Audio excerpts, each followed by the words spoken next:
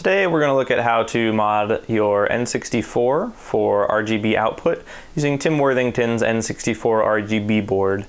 Uh, if you've seen my NES RGB video, you know that that produces some amazing results and I consider it to be an essential purchase or modification for that console.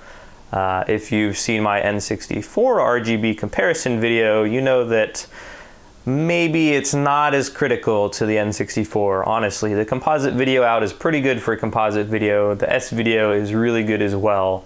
Uh, the RGB seems to introduce some kind of interference, uh, which I tried to mitigate a couple different ways, but it seems to just be inherent.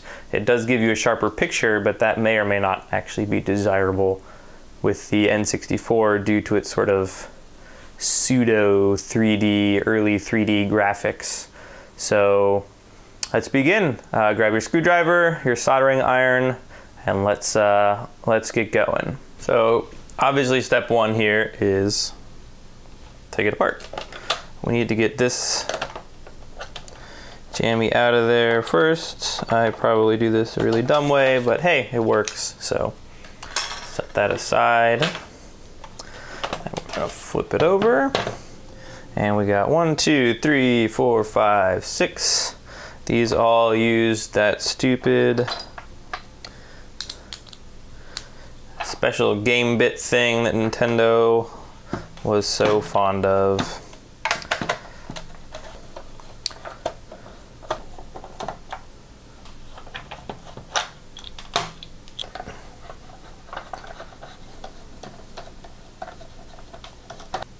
That's all those. Take the top off. Nothing that we need is on the top, so we're just gonna set that aside. You'll see on my installation, I did it a little bit different here.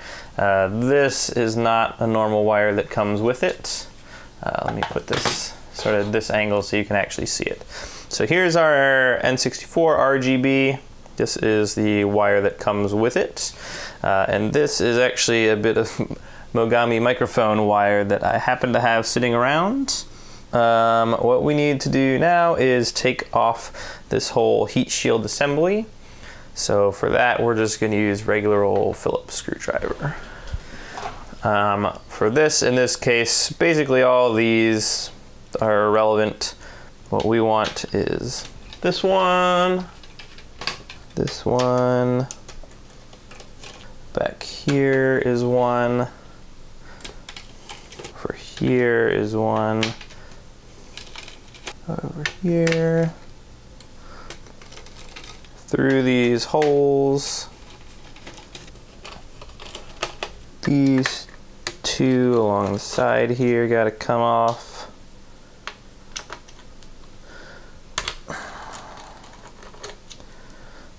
And I think mine is actually missing one up here. But that's fine this part actually just comes out and we set that aside. Uh, and then there's these two smaller ones. I need to switch bits for that because those guys are kind of little. Now a lot of these screws are kind of different so it's a good idea to keep track of what's what. Um, we also got to take these two off and these two off. So go back to the bigger one for that.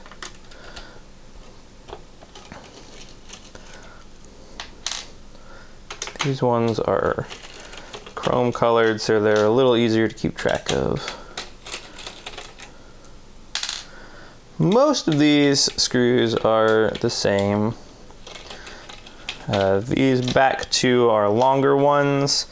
These front two have the little washers on them, and then these two obviously are tiny little ones. So we should be able to pop off this heatsink now, if I'm not mistaken.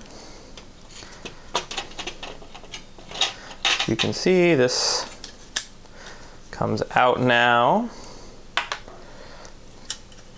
Heatsink on the bottom that we're taking off. Uh, you'll see we're going to get to this in a minute and then we should be able to take this off the top here there we go Takes a little force sometimes. Set this aside. Ah. All right, so that can come off now. So,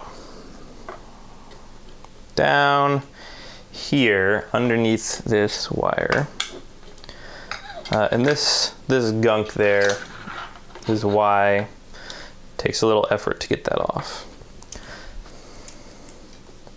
So this chip right there. Can you see that? You can't see that. So that little chip right there. So you can see we have to use the supplied wire to wire it directly to those pins, which is pretty small, intense work. Um, but there's a pretty easy way to do it uh, that makes it not so bad. Tim nicely includes some very thin solder. I have some of my own as well.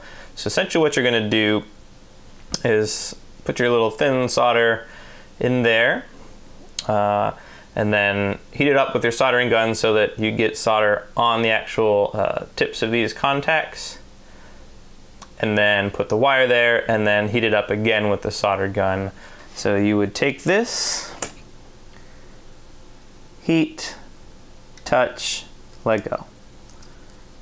Heat, touch, let go. Heat, touch, let go. Heat, touch, let go. And that's gonna put just a little drop of solder there and that way you can then come back in with your wires and connect those there. So that's step one is to connect all of these to there.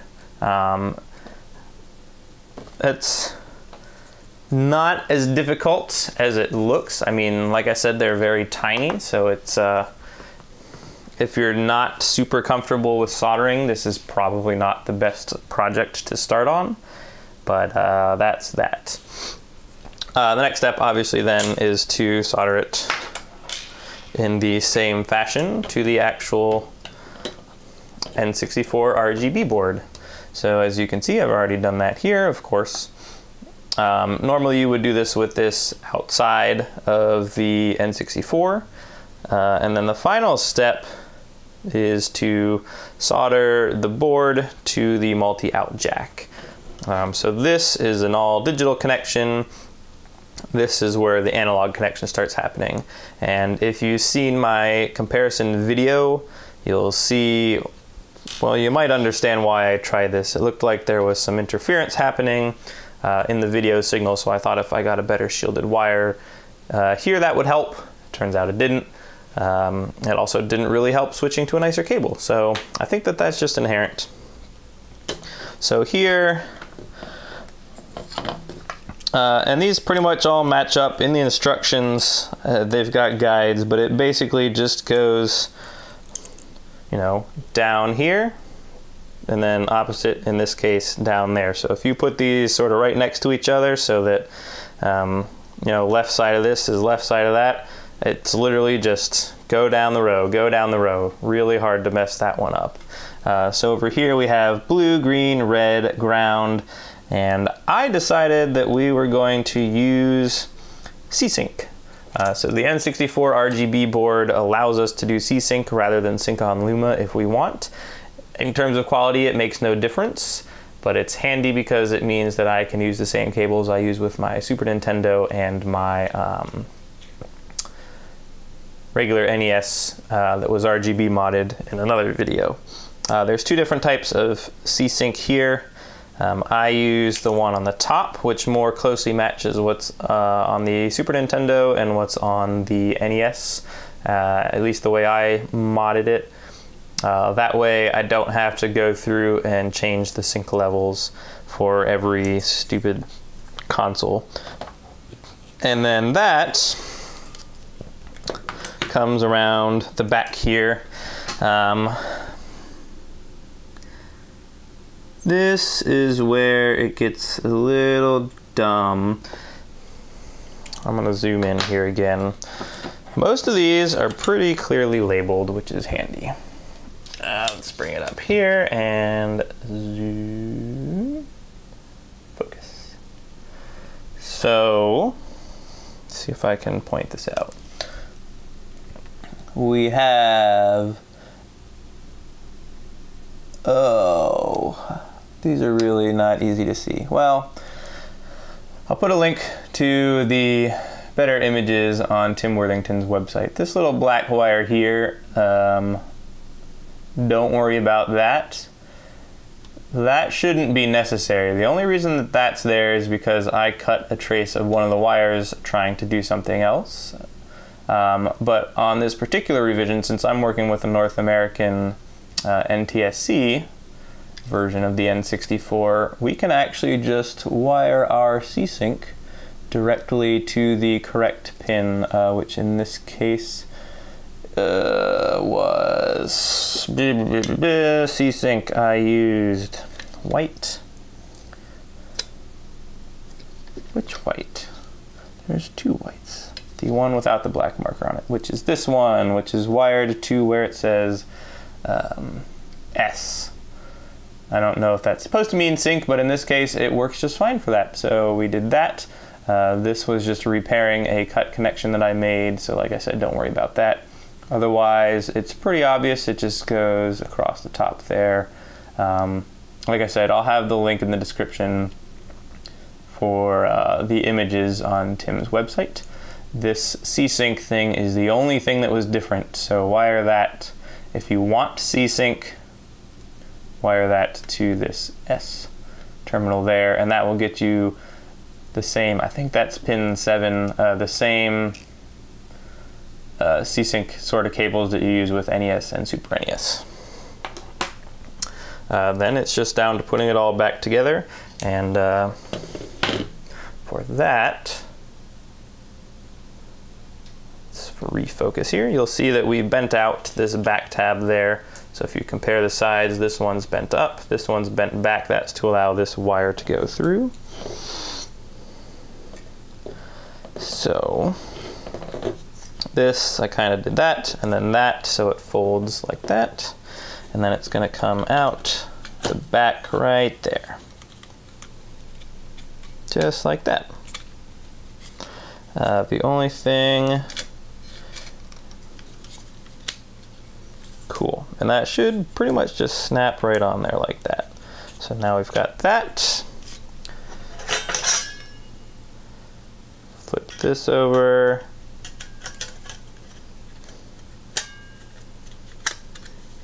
Make sure that goes on there like that. Now we can start screwing everything back together. So for that, we need the bottom again. Hey, stop moving.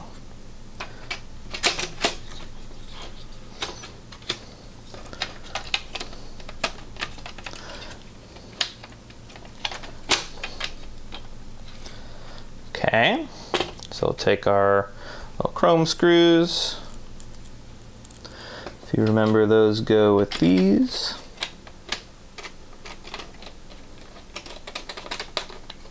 Here's another chrome, jabby, and there.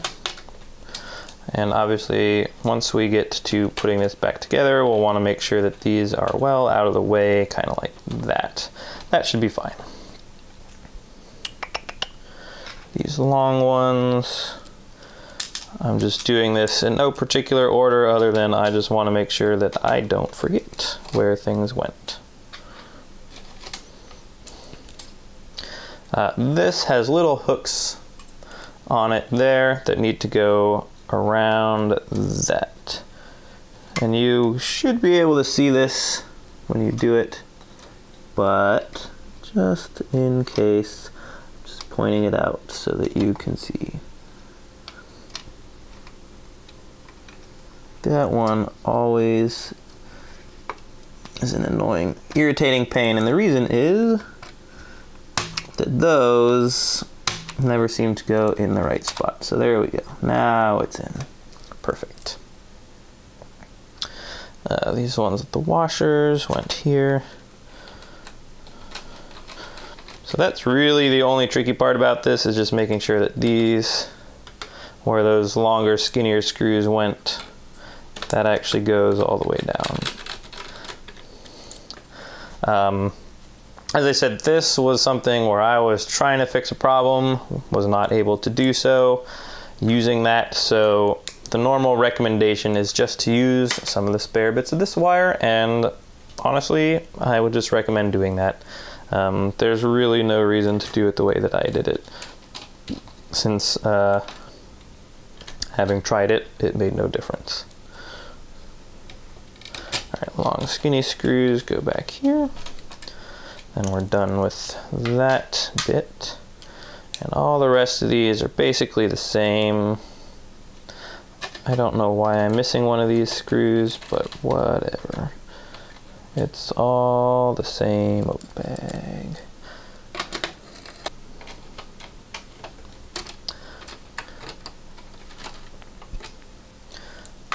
All right, so that's that. Now we pop the top back on. Screw it back together.